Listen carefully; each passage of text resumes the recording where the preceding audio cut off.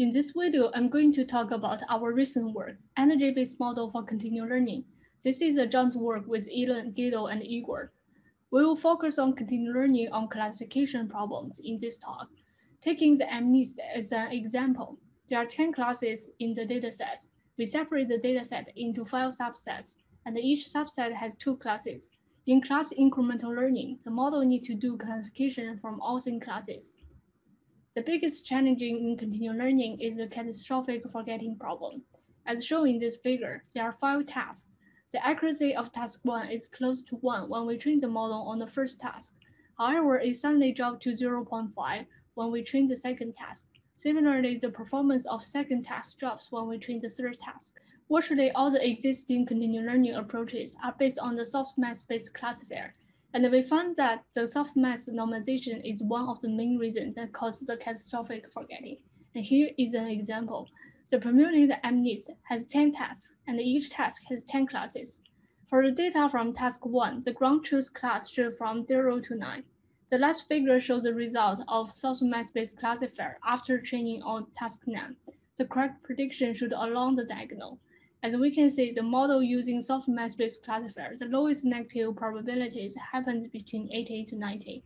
This happens for all data from different tasks, even their ground truth labels are not 80 to 90. After training on task 10, the lowest negative probabilities shift to 90 to 100. This means the softmax-based classifier already forget previous learned task and only predict classes in the current training task. In our paper, we propose to use energy-based model as a building block for continual learning. In our energy-based model, we try to optimize the joint distribution of input image X and label Y.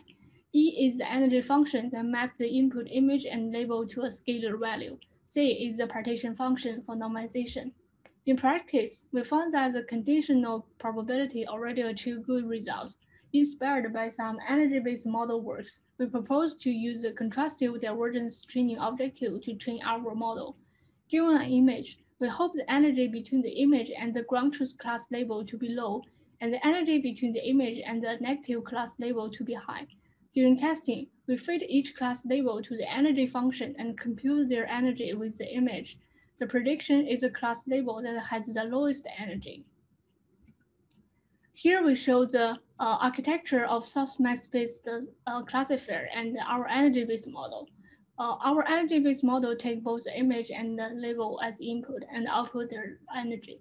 The architecture of energy-based model is very flexible and allows us to combine the information from image and class labels in many different ways. Why energy-based model can mitigate catastrophic forgetting? Here we compare the proposed contrastive divergence training objective and another two baselines. The first baseline, all negative seen, means the negative classes are all classes seen so far.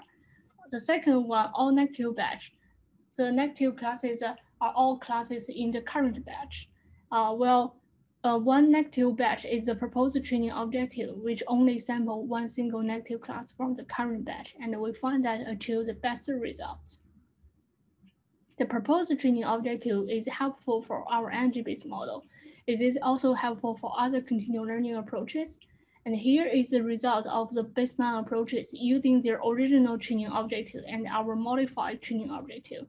Uh, there's a big improvement, meaning our energy training objective uh, can be also applied to existing continual learning approaches and improve their performance. And here is a comparison of energy-based model with baseline models on four different data sets. For fair comparison, we only compare with methods that do not use replay buffer or generative model, and our energy-based model significantly outperform baseline and achieve much better performance on the more challenging dataset CIFAR100. Here is the energy landmaps. The left part is the softmax-based classifier, and the right part is our proposed energy-based model. The darker the diagonal is, the better the model is in preventing forgetting. Our energy-based model can predict the new classes without forgetting old tasks. We have shown the result on the standard continual learning setting, which we call boundary aware setting. In this setting, models are first trained on the first task and then move to the second task. Moreover, models are told when there is a transition from one task to the next. However, it is more realistic for tasks to change gradually and the models don't know the task boundaries.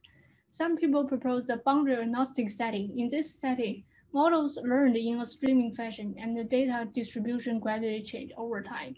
Most existing continuous learning approaches cannot handle the boundary agnostic setting because it requires the task boundaries.